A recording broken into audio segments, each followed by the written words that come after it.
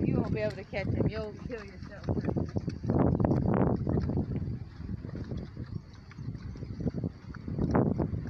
Hey, little piggy.